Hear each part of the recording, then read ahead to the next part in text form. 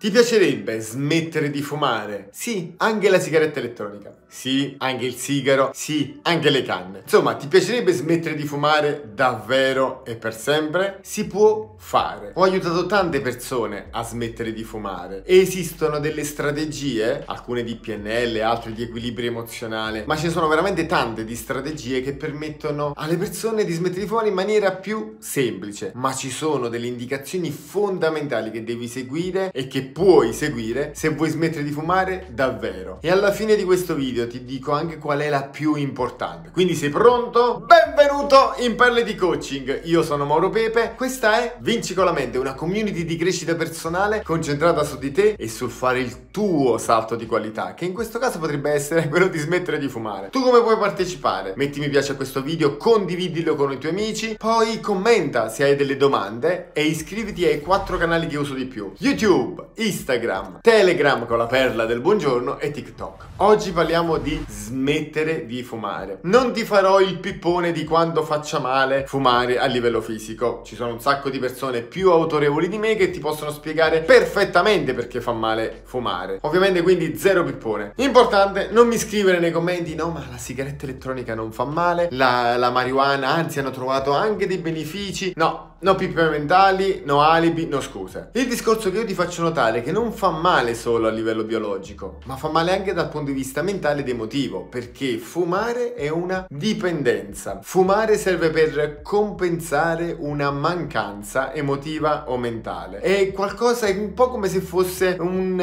uh, dare una toppa su uno strappo. Molto meglio andare a ricucire quello strappo, molto meglio andare a colmare quella mancanza, molto meglio fare una crescita personale personale. Quindi, fatta questa premessa, è importante capire che io non voglio convincerti. Se non vuoi smettere di fumare, è semplicemente questo non è il video adatto per te. Non è un dibattito. Qua mi servono solo le persone che vogliono smettere di fumare davvero Semplicemente davvero. Ma se tu continui ad avere degli alibi, tipo io sento spessissimo, eh, io fumo perché provo troppo stress, oppure fumo perché per me alla fine che cos'è? È una coccola, oppure ormai ho, ho una dipendenza, quindi non riuscirò mai a smettere di fumare, oppure nel mio ambiente tutti fumano e quindi fumo pure io. Ci sono una marea di alibi e di scuse. Eliminiamole. Prendiamo una decisione vera, perché io posso aiutarti a smettere di fumare, ma tu devi convincermi che sei davvero convinto, convinta che vuoi smettere di fumare. Devi prendere una decisione vera. Convincimi.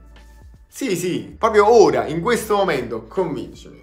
Secondo te tu sei abbastanza convinto? E allora andiamo avanti. Innanzitutto è fondamentale capire che la regola numero uno per smettere di fumare è eliminare tutti i verbi leggeri oppure di dubbio. Mi piacerebbe smettere di fumare. Vorrei smettere di fumare. Se dici mi piacerebbe smettere di fumare o vorrei smettere di fumare, vuol dire che non vuoi. Semplice. Scelgo di smettere di fumare. Decido di smettere di fumare. Significa prendersi un impegno con noi stessi. Questo è importante. Quindi la prima regola è decidere. Davvero! Decidere deriva dal latino re Cidere significa tagliare fuori, significa tagliare fuori ogni altra possibilità. Se io smetto di fumare, vuol dire che zero, completamente zero. È inutile tutto il resto, ho tagliato fuori tutto il resto, tutte le altre opzioni. Quindi decidere davvero, prima regola. Seconda regola, hai deciso di smettere di fumare? Butta le sigarette. Buttale! Direttamente vedo gente che smette di fumare e dice lascia la sigaretta nel cassetto. E no, eh, significa che nel momento in cui si abbassa la tua forza di volontà, un po' di piccola di debolezza, eh, il cassetto sta lì. No, butta le sigarette. Anche quella elettronica, butta la sigaretta elettronica. Ma anche quel sigaro particolare, butta il sigaro particolare. Ma anche ho comprato la marijuana, la devo... Buttala. Butta le sigarette è fondamentale. Puoi farlo anche attraverso un rituale. Io è capitato delle persone che facevano un rituale, ogni singola sigaretta,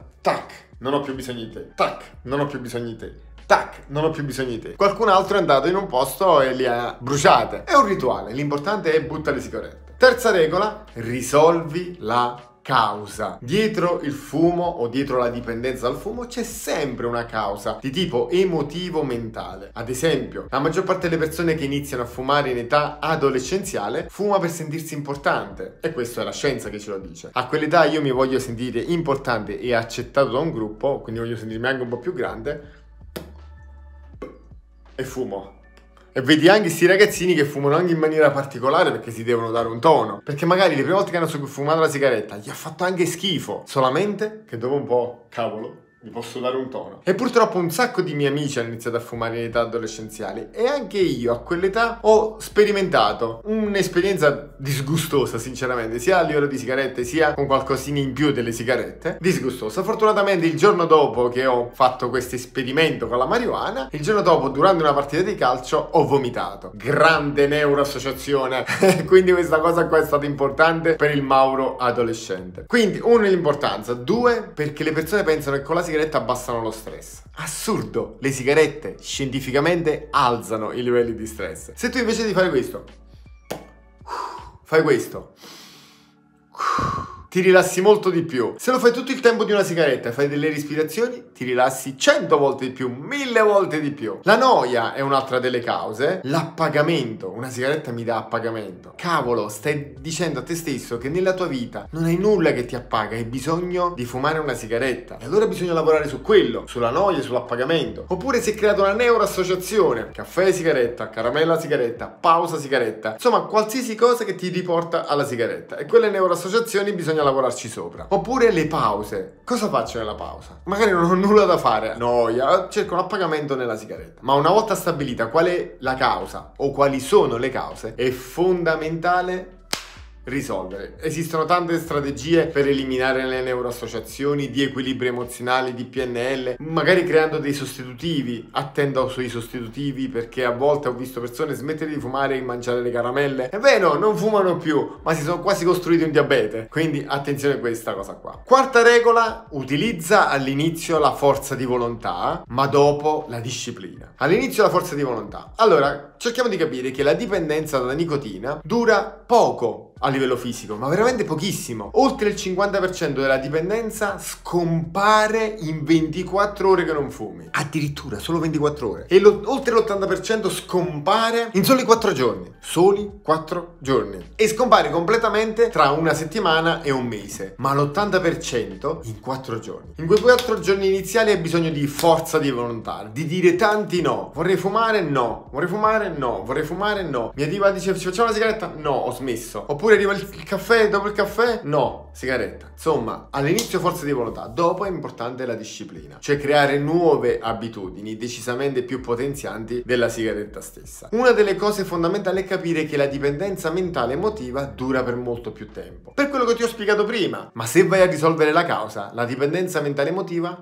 scompare. Pazzesco, eh? fantastico come cosa. È importante andare a creare dei sostitutivi. Un sostitutivo alla sigaretta potrebbe essere quello di fare delle respirazioni o fare un po' di ginnastica emozionale. Se segui i miei video da tanto tempo, sai anche che cos'è la ginnastica emozionale, altrimenti cercala su YouTube. Ginnastica emozionale trovi i miei video. Questo è un mio protocollo per allenare alcune tipologie di emozioni. Quinta regola, festeggia i miglioramenti. Un giorno senza fumare.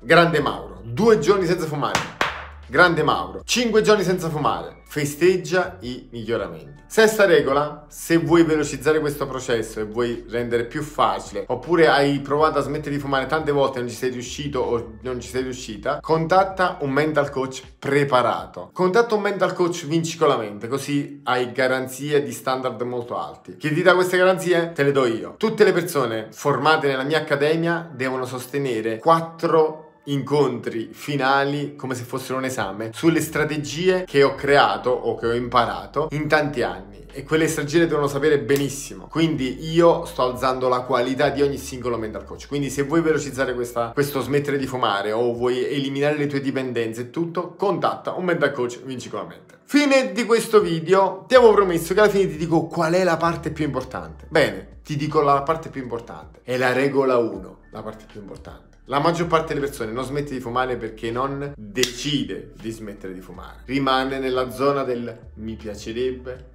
vorrei. Decidi, perché quando decidi davvero una cosa e decidere significa tagliare fuori ogni opzione, quindi recidere. Quindi quando decidi, io decido di smettere di fumare, scelgo, decido ora di smettere di fumare e sei convinto e hai dei perché molto forti, hai una motivazione interna molto forte, ma la motivazione non arriva dall'esterno perché me lo dice Mauro, ma per l'amor del cielo non è così. La vera motivazione è quella interna. Smetto di fumare perché mi amo, perché voglio che il mio corpo faccia un salto di qualità, smetto di fumare per i miei figli, smetto di fumare perché sono stato male, smetto di fumare perché basta questa tosse, questa raucedine, basta avere questo senso di che ha rovinato i miei sapori, i miei odori, eccetera, eccetera. Decido con delle motivazioni forti. E poi convinci Mauro. Quando decidi, convincimi. Perché se mi convinci, allora sei davvero pronto a smettere di fumare. Questo video finisce qui. Se ti è piaciuto, metti mi piace e condividilo con i tuoi amici. Io da parte mia ti do un abbraccio affettuoso e ci vediamo nel prossimo video.